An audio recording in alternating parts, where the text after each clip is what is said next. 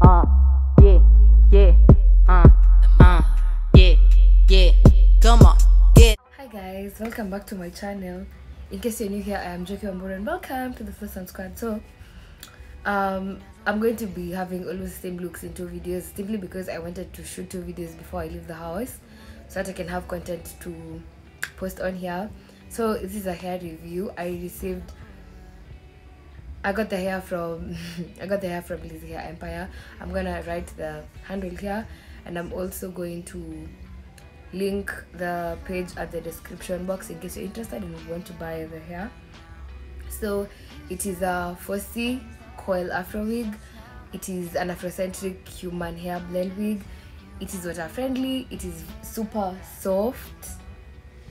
And what else? Yeah, I really like the texture. So this wig really comes what do we say? Comes comes in handy. Yeah something like that. When i don't want to like go extra on my looks or i just i have a day full of errands or it's kind of like it just comes through for me when i don't want to be extra and everything. So yeah. So this is how the wig looks like.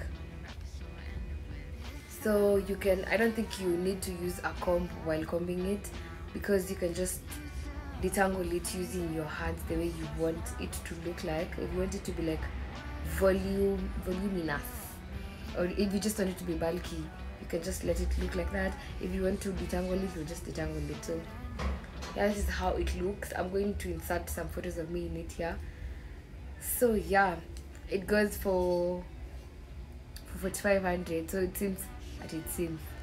So that means this is so pocket friendly like getting this wig that is always like human hair and it's 4500 for me that is pocket friendly. So i will really really recommend. So i'm gonna put it on and then come on here to you guys how it looks on me. The front. That's why i'm saying it is a it has a fringe. Oh i don't say it has a fringe. So yeah let me put it on and then i come on here and show you guys how it looks. So this is how the wig looks on me you can definitely see it is a go-to wig anytime. You don't feel like being so extra. You can just put this on and go ahead with your day. So yeah.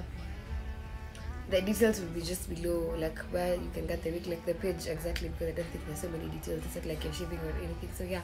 This is how the wig looks like. Very cheap very very pocket friendly.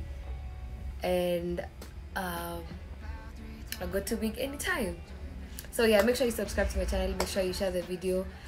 And i think this is something that i want to start doing on my channel like giving reviews of hair and everything. So i hope i aced it in this first one. I know i'm gonna get better when everything goes on. So yeah. Bye. I'm gonna see you in the next video